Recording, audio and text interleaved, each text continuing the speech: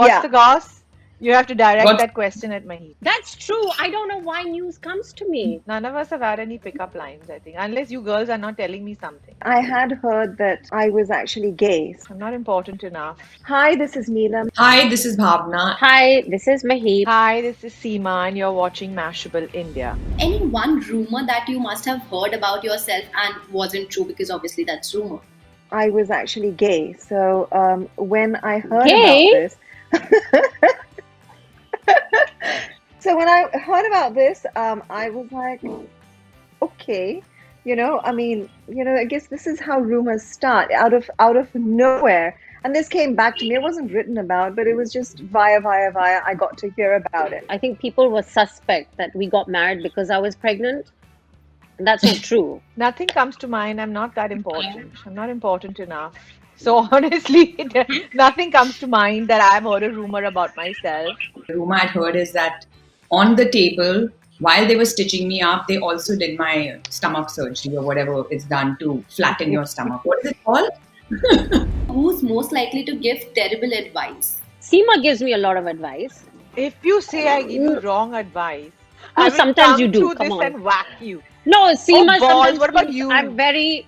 I think Seema thinks that sometimes I'm very um, uh, harsh on my children. I tell them the ground reality. Any worst fashion advice that you must have received? Some of the outfits that I wore were absolutely hideous, ridiculous. Like the color combinations used to be uh, purple and yellow. And I used to get fan mail actually telling me that, you know, oh, you're so well dressed. And I used to take it seriously and I got carried away. No one's offered me any advice on my fashion.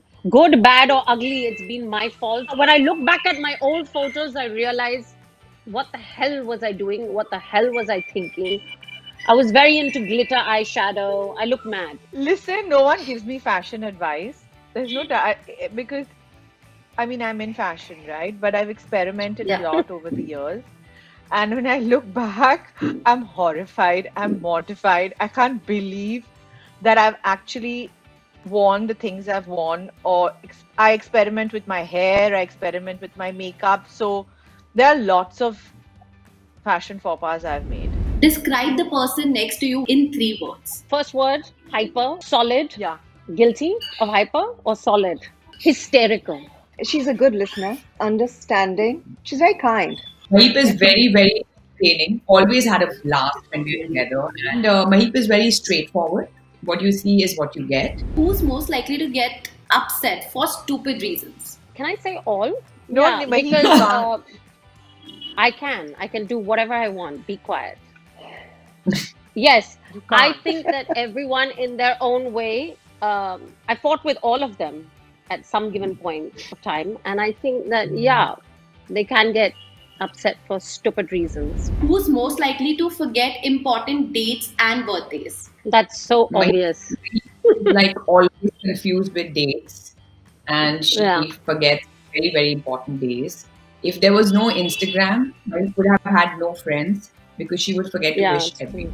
Any embarrassing moment that you remember? So there's this. Wow, Um, I knew you'd know. Remember? I knew it. I knew it. she has broken her phone apart. She's calling me from a landline to say, How can I get the message back?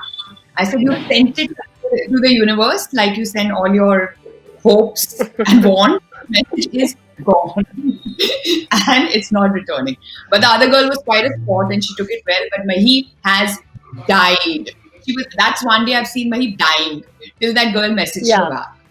And she's a friend, you know, so she was feeling bad. It wasn't- was feeling- Yeah, it wasn't a nice message. I'm thinking, when have I embarrassed I- myself in them? 25 years ago when Neelam was a little bit more mad. Seema, now she's calm. Seema, Neelam and You I know, had, I mean, time I'm you going back. stuck you Chewing gum stuck in her hair. in my hair. I was very jealous Seema, of her long did. hair. She had the most beautiful long hair. She and I was stuck angry. chewing I, gum in I was my so upset. hair. I don't know. Why I was I was jealous. So I stuck gum in her hair, and she walked around the no, whole you party with gum not jealous. You were not jealous. you were just behaving mad. Okay, so Maheep, any instance that you remember of Seema? There are so many. I knew she was going to say So that. you can talk about more so than many, one which also one- if you want to. No, not necessary. But no. honestly, not necessary. But yesterday I spoke about, you know, her fashion thing where her thing burst open. I mean, I remember we were out, we were in Baroda, all of us were there. We had to go for a Yeah. party, and she stepped out in this slinky outfit. And I think she bent down, and the whole zip went opened. she had no other clothes. And I had only carried that one outfit. I didn't carry a One outfit. So I had to go in my so it was, a, it was a very fancy schmancy party, and this one has arrived in tracks and sneakers, and but she owned it. I thought that was funny. Mm-hmm. I stood out. Who's most likely to unable to keep a secret to themselves? That also, let me tell you, I think everyone's good at keeping secrets, no? But it spreads Yeah. because you always have that one friend that you tell, and that one friend has that one friend.